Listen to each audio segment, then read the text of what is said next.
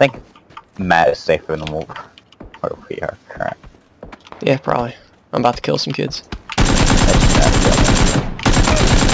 trying to get to Matt, man. Just like You Or mountain climbing.